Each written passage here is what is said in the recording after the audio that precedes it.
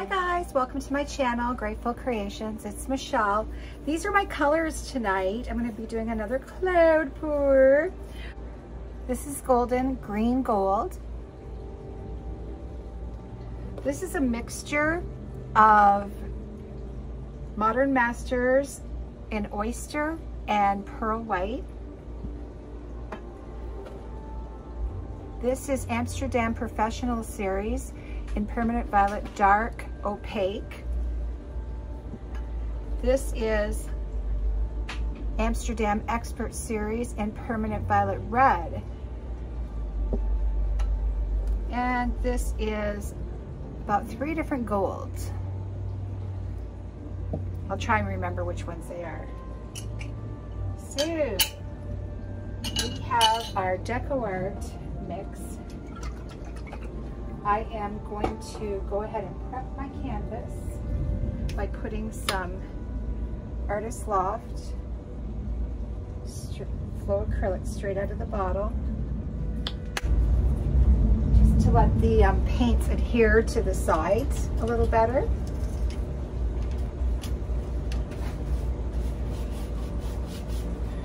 I'm going to try and keep this in frame and not crooked. I have a hard time with that. I really do. So yeah, that's the reason why we do this is we um, we want to make sure our um, sides are a little tacky so that they can hold the paint. Because once it, it, starts running off it, it um, it makes them very, very, because these are thin paints, it makes them almost disappear, all the colors. So it's nice to have a little bit of something, something on the sides. And I am going to, this paint, this uh, canvas takes 23.5 ounces of paint.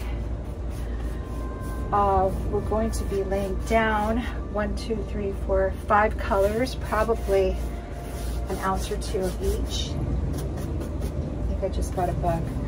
Um, and then, so I'm gonna put fit 16 ounces of cloud mix down for right now and see how that works. Here's my handy dandy milk bottles. I just love these things. They're so easy to clean. All right.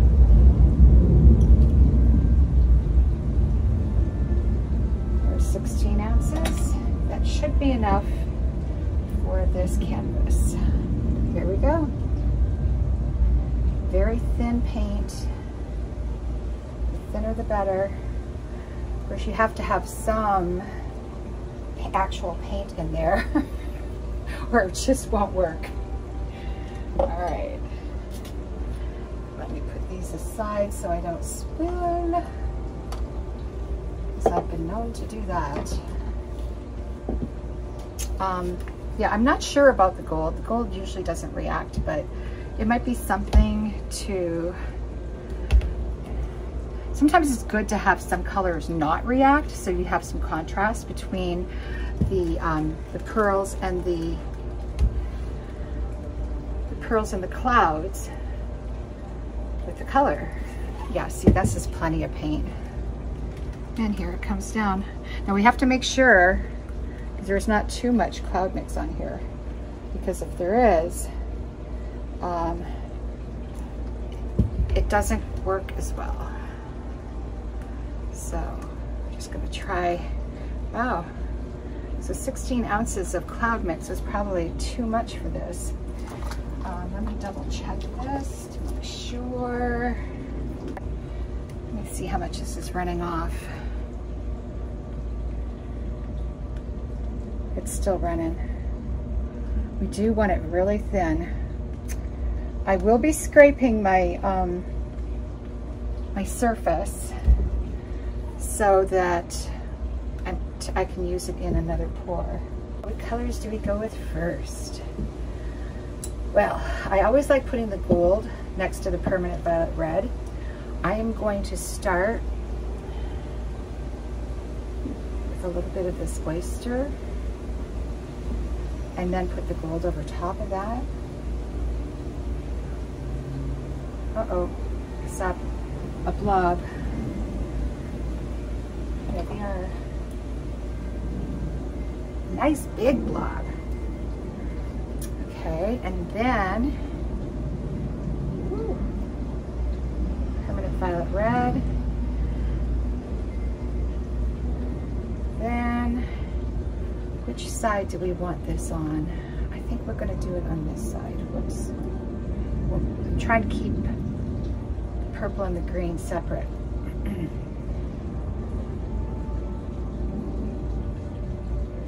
Just want a little bit of green because that really, really reacts. It just takes over the paintings. Green is known to do that. Um, usually doesn't matter what kind of green. All right, this looks interesting. Okay, I'm going to see where the weight of the paint is. It looks like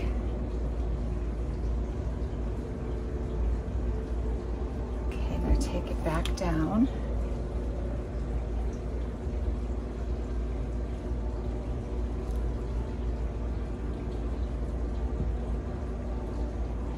And of course, I'm gonna bring it all the way over.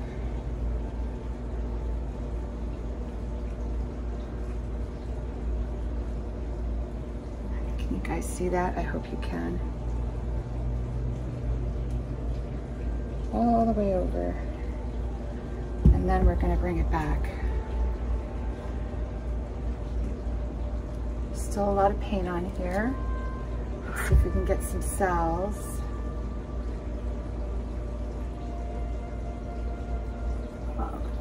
Let me turn this around so I have more control. Ooh, ooh, ooh. Here we go. And you have a better view.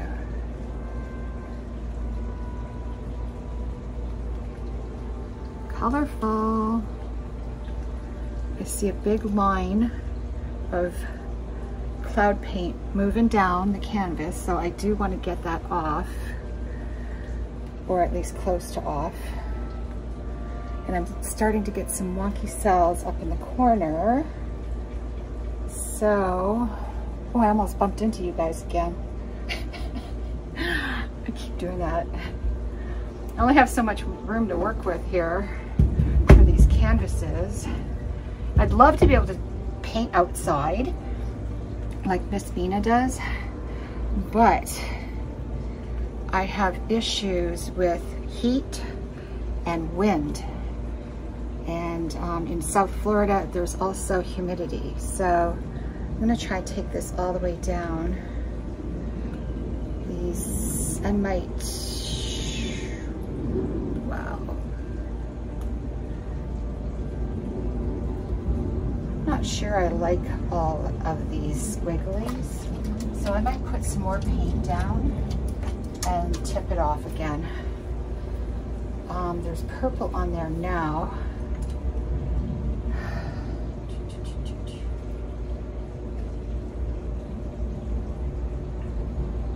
I'm kind of partial to the permanent red violet with the gold, so that's what I'm going with.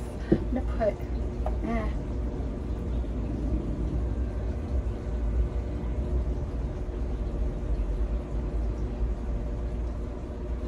maybe a little bit of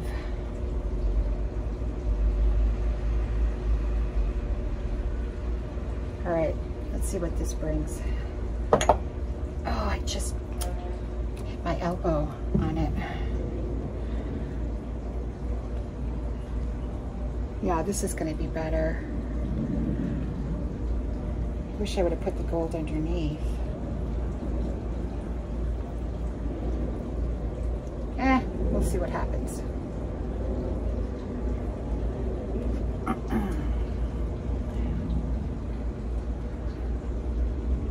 Want to stretch it back so we can get some cells.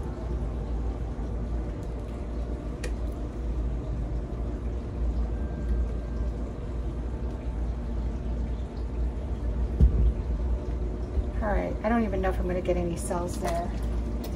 What I might do, okay, this is interesting. This has been on my mind.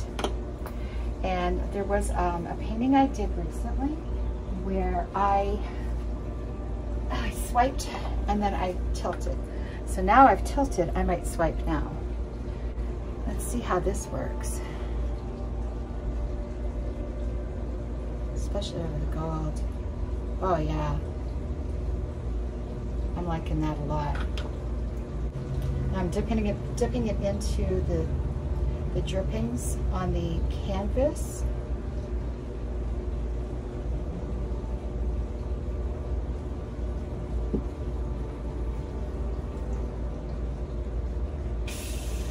Oh, there's yard.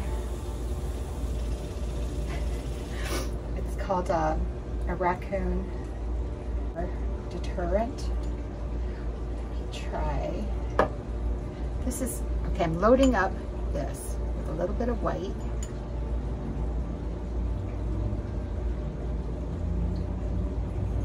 That's the pearl and the oyster. Then I don't want to get it too close to the canvas. So and then I'm going to put the, the gold over top. Then I'm going to put the permanent red violet. You know, I did that backwards again. Ugh, whatever. I'll try it. So, what don't I like? Right here.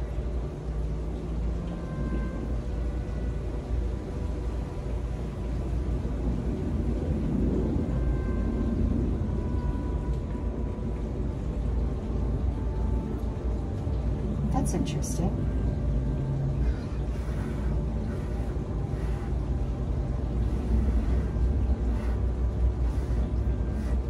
Wow. Wow, that's really interesting. All right, I'm gonna do it one more time.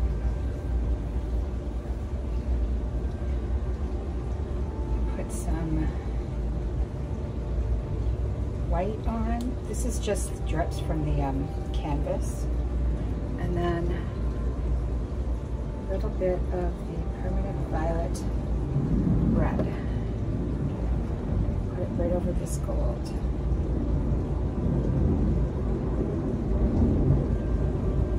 Now it's pink. we'll figure it out.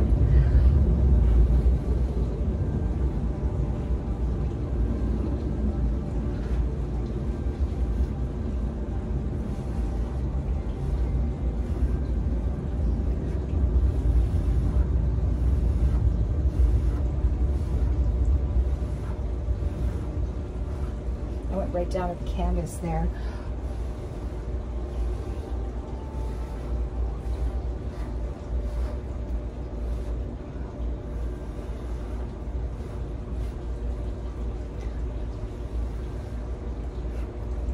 All right, that's kind of cool.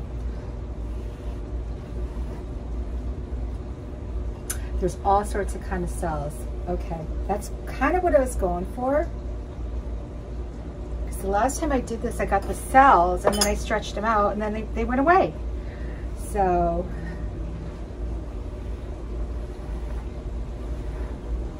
yeah, guys, gold just does not want to. Oh my goodness, I didn't even see what was going on up here. Holy jeez. Oh my Lanta. All right, I'm going to put you guys, wow, that really reacted quickly. Um, I'm kind of liking that purple over there. But I'm kind of liking what's going on here too. It's very organic. You can see the color coming through. Um, the purple does react well, I have to admit. So, why don't we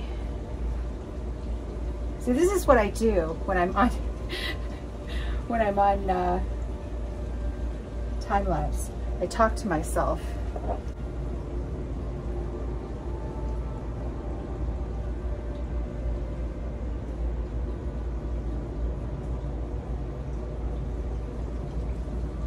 I don't know that that's going to sell because it's already stretched out.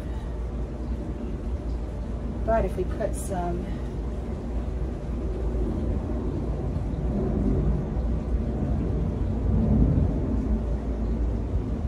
I'm making a mess of things.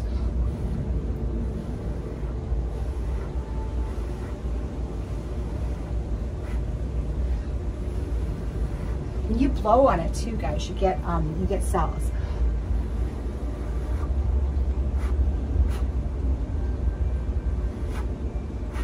Oh, that's looking pretty now.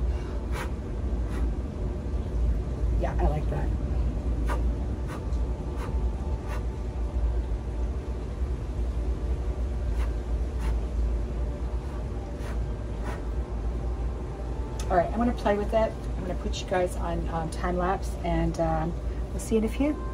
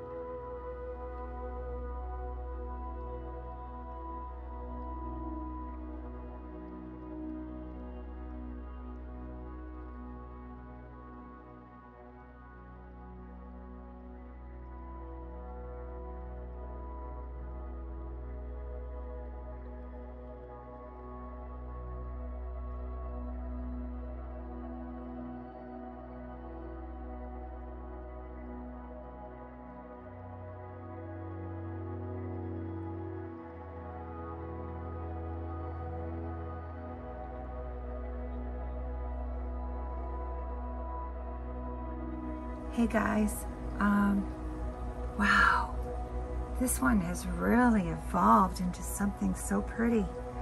I'm gonna call it Hello Spring. It's beautiful. The colors, oh, they're very springy. Um, wow. The gold turned out well, better than I thought.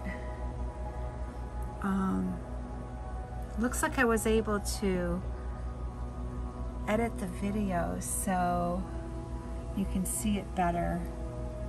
Look at that corner. I just love that little corner. It's so cool. And then a lot of these um, places right here, they kind of look like watercolor. Um, these cells are to die for. Oh, I love it. And see how it, you can, it's like transparent you can see through the white. I am in love. You can see a little bit of the gold sparkling through there. See what I mean about the, permanent red, violet, and uh, the gold mixed together? Oh, it's my favorite. Just my favorite. Anyhow, these got a little wonky. What would be our world without a little, without a little wonkiness in it? And there, the gold mixed with the green gold, and it made this really cool color. And I got cells where the gold is. Very unusual. Doesn't happen very often. That's a super stretch, I guess.